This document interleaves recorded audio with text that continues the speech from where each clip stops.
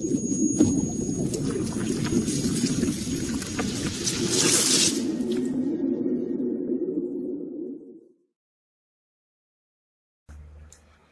finales del siglo XIX tuvo lugar en Tsavo, Kenia, un episodio amplificado por la literatura y el cine. Según se cuenta, los trabajadores dedicados a la construcción de la línea ferroviaria en Tsavo, Kenia, casi en el umbral entre el siglo XIX y el XX, vivían aterrorizados hasta el punto de que se negaban a ponerse manos a la obra. Y es que dos felinos aterrorizaron a estos obreros que construían la línea férrea entre Kenia y Uganda. Sabu es una zona del sureste de Kenia, a unos 180 kilómetros al noroeste de Mombasa, hoy convertida en reserva natural, que a finales del siglo XIX supuso un problema para la Compañía Británica del Este de África, responsable de mantener los intereses del Imperio Británico en esa parte del continente negro, que necesitaba construir una vía férrea que comunicara Mombasa con el lago Victoria. Los lugareños se negaban a trabajar en ella, pues era evidente que no iban a ayudar a los invasores europeos a implantar un sistema de transporte que les daría el control del terreno. Así que los ingleses tuvieron que traer a ese lugar perdido de África a trabajadores de sus colonias en el subcontinente indio. Las condiciones sanitarias en las que trabajaban y se movían eran deplorables, úlceras, diarrea, disentería y escorbuto eran enfermedades habituales. Los animales de tiro y carga de que disponían también se vieron mermados por las enfermedades.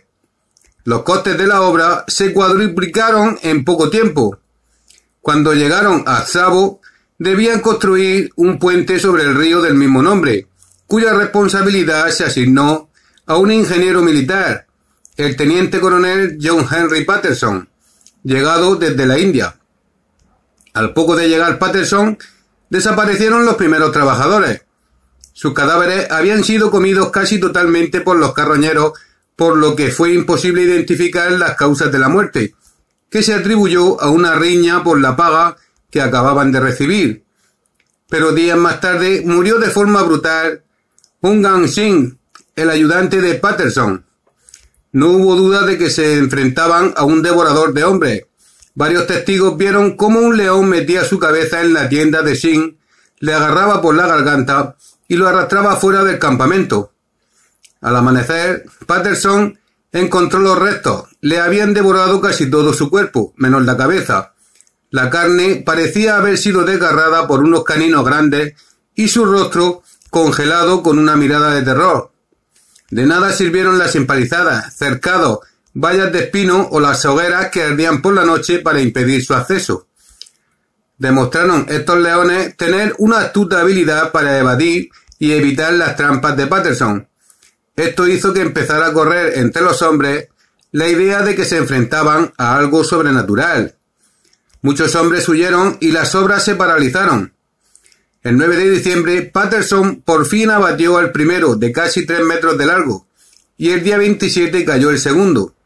Según el mismo Patterson, los leones habrían matado a 135 personas, aunque estimaciones recientes basadas en los marcadores isotópicos del cráneo de los leones parecen reducir su número a 35. Los leones de Sabo, curiosamente, no tenían melena. Los investigadores apuntan que en un ambiente tan tórrido como Tsavo y con tan poca agua hizo que la perdieran para poder sobrevivir. De hecho, en la actualidad se han observado leones sin melena en Tsavo. En el año 2000, el examen de los cráneos mostró que al león dominante le faltaban varios dientes y tenía un acceso dental severo.